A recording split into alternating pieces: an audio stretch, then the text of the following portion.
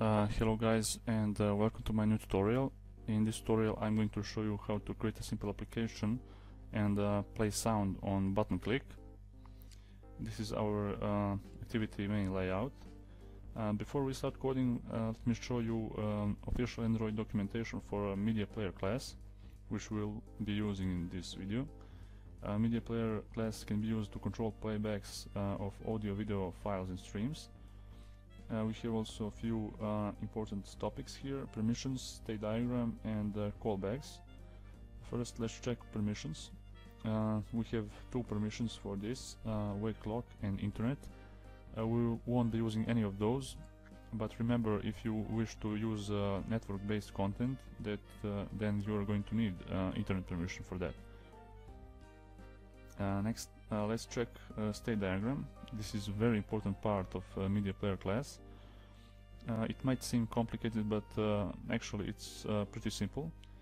Um, it starts with a reset method, and with that method the object is in idle state. After that object is initialized, and with method prepare the object is prepared. you can also use onPrepared listener to get the callback uh, when it's prepared.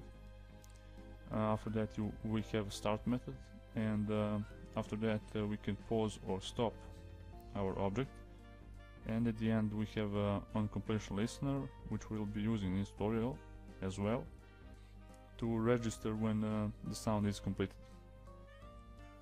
As you uh, can see here it says when a media player object is created using new or reset is called is uh, in idle state and after release it's called it is uh, in the end of the state. Between those two states is the life cycle of media player object. Uh, and at the end let's check uh, the callbacks.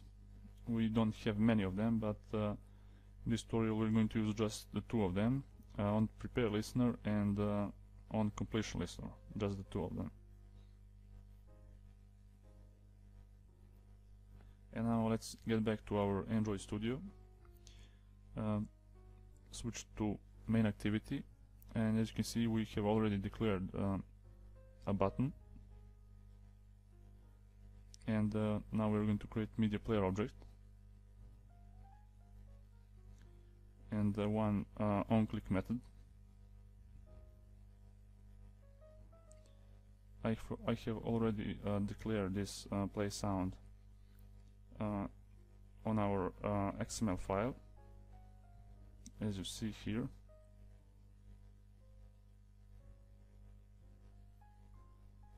And now uh, start by typing uh, mp equals to media player dot create as a parameter we need the context and sound file.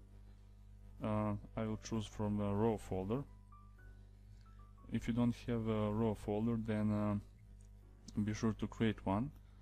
Uh, you can create that by uh, right click on the resource directory and uh, new and uh, Android resource directory.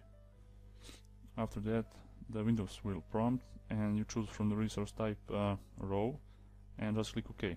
I have already created so I won't be repeating that step. Anyway now we're going to add on prepare listener. And inside this listener we're going to start uh, the media player object.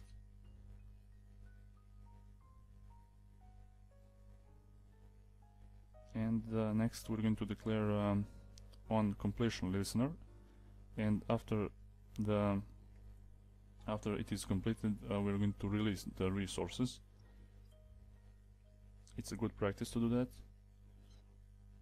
and um, that's pretty much it. We have uh, created this application successfully. Uh, if you wish to check more details about media player class you can uh, again read the Android official official Android documentation for media player class. I will add the link in the description. So uh, thank you for watching. Uh, subscribe to my channel if you haven't already and see you in the next one